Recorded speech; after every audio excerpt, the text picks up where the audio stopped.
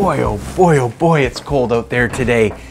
It is about minus 15 degrees Celsius here in Niagara Falls, Ontario. It's towards the end of January, but I really want to get out in the shed today to update everyone on a project that I think a lot of people are interested in.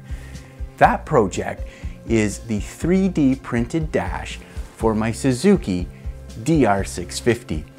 I know it's been a long time working on this project, but I really have a renew renewed energy in this new year. So I want to bring you up to speed on where I am today. So why don't you sit back, grab yourself something warm to drink, and enjoy Dino's Tinker Shed. And we'll talk about this little guy a little bit more. See you in a minute.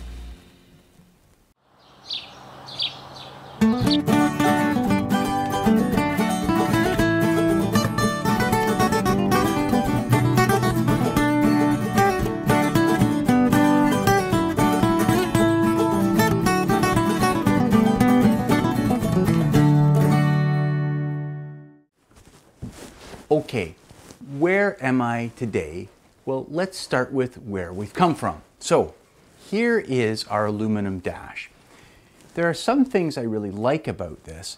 The overall size of it was a good size. It wasn't too big, but it had enough room inside to mount a small four fuse fuse panel, a, a standard a relay, four prong relay, and of course a couple uh, uh, power supplies there, USB and a 12 volt standard cigarette lighter type plug.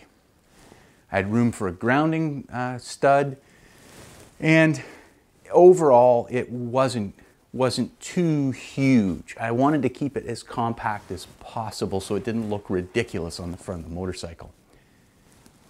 One thing that um, I worried about a little bit is because it's made out of metal, even though it's aluminum, it's still somewhat heavy. It, I, I don't have the full weight here, but it it's not terribly, terribly heavy, but it's not as light as I'd hoped it would be. It's never been a problem, but it's something that just seems like a lot of weight sticking out in front of the bike, and I would have some issues with the dashboard vibrating a little bit at highway speeds, around 50 miles an hour, 80 kilometers an hour. I could see the headlight bouncing a little bit on road signs, especially at night. So I wanted to address that. The other thing was a lot of people maybe don't have the metalworking tools that they would need to make something like this. You need rivet guns. I used Clecos on there to register the different parts. And you need drill motors, some saws, some different metalworking tools to make a project like this. And honestly, the cost of aluminum is quite expensive. If you had to buy all of the sheet aluminum, you know, you'd probably pay maybe 50 to 60 dollars to get that amount of aluminum whereas I just used old road signs. I have a friend that sort of collects them. So the idea of a 3D printed dash made a lot of sense to me. It'd be lighter more cost effective and possibly more accessible for people who have a 3D printer or who want to spend a few hundred dollars and have a tool like that in their shop for prototyping the way that I'm doing it. And this led me to this prototype here that was in the last video. My friend printed this out for me. I finally had the time to glue it together as one rigid piece. And it does have a dash panel that I'll probably put on with hinges, or I'm even thinking maybe rare earth magnets might be enough to hold something like this in place for easier access into the sort of service area there. Overall, I was quite pleased with the results. I glued this together with super glue. It's quite rigid, surprisingly. And even though it's printed um, out of PLA, which is like apparently the cheapest material you can print something out of, it really does feel quite rigid. And I think once the prototyping is done, printing this out of something a little more durable will probably be sufficient to support this thing. Um, one thing I noticed is when I went to fit this up, I had a couple areas that uh, needed some tweaking. One was along this edge, it was a little bit too long and it was hitting the fork stanchions. And also up top here, where I've got the cutout for the uh, speedometer, the ignition needed some relief in here as well. And as I got printing, um, you know, there's a couple other things that I noticed. One is um, when I did the initial design, I left a little bit of space. I didn't zero out my, my finger joints on this edge in particular right here, which leads to look just kind of crappy. It's, I think, pretty strong, but it just looks bad. So I sat down with Tinkercad and redesigned some of the parts, and I came up with this piece here. So you can see that I've added relief for the ignition tumblers, and I've even smoothed out the arc on this to make it look a little better. Here was the issue that I had with not zeroing out the um, the uh, box joint on the side panel and I remedied that in the second panel that I printed over here. So it's nice and smooth. It prints much better and I also added a radius on the back edge here for it to look a little more professional I'm still not 100% satisfied with where we are at this point but it's looking pretty good one thing I also did was on the original black piece, I was noticing that the base plate was starting to cup a little bit. It was starting to warp. So what I did is I doubled the wall thickness of it and I stepped it up against the sidewalls with the thought that it would give more glue surface to glue this thing together with whatever product I decide to do. So I thought that overall was pretty good in terms of design changes and I went ahead and printed out the white model that you see here. And again, it's out of PLA. I just chose white because I thought, well, I got a white bike. Let's see what it would look like in white. But there's also a few other changes that I decided to make along the way that relate to this but aren't 100% the same. The first change that I made to the bike that isn't part of the 3D dash is the headlight. Now, if you have watched my channel, you know that I've upgraded this old headlight here to a Cyclops LED bulb, H4 bulb. This is an amazing upgrade for the DR650 and it turns this old tired halogen light fixture into just a great laser beam that cuts through the darkness. The challenge I'm having here is because the actual housing, the fixture is made of glass and steel, it's heavy. In fact, it weighs about 684 grams, which is about a pound and a half that I have hanging out here on my dashboard. The other thing is the control unit for it takes up a fair bit of additional space within the dashboard assembly itself. This is the controller here. It's already fairly tight with all the wiring it has to pack in there, and this has always made it just a little bit challenging to fit in. So what are my solutions? Well, I decided to upgrade to a fully LED light package like this. This has some kind of polycarbonate lens on the front instead of glass. It has the controllers built right into it and it has an aluminum heat sink on the back. This weighs in around 360 grams, so half the weight of the original Suzuki mount. And the thing that I like about it is the mounting bracket itself is an all aluminum cross brace design that I think is going to offer support for the 3D printed dash. And I do like the fact that you can pivot the light up or down quite easily with this, given the way that it mounts with uh, a fixed stud on top and then sort of a, a glide notch built into the bottom so you can pivot it up and down. So I think it's gonna give me some good adjustability. The other thing is, I can eliminate the controller right here from my Cyclops bulb.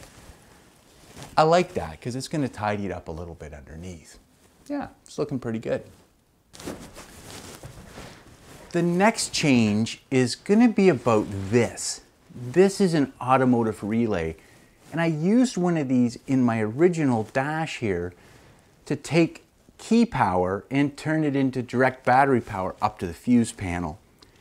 It's a wise thing to do if you want keyed power or you have anything with a fairly high load on it. You don't really want to run it off the switched power under the dash there that comes from factory. It's, it's not really strong enough to say power an air compressor. But a relay will allow you to use power straight from the battery up to your fuse panel and then out to your accessories on either side of the dash. And it works really good. The only challenge I have with this is physically it's fairly large. And again, I want to try to keep things both smaller and lighter.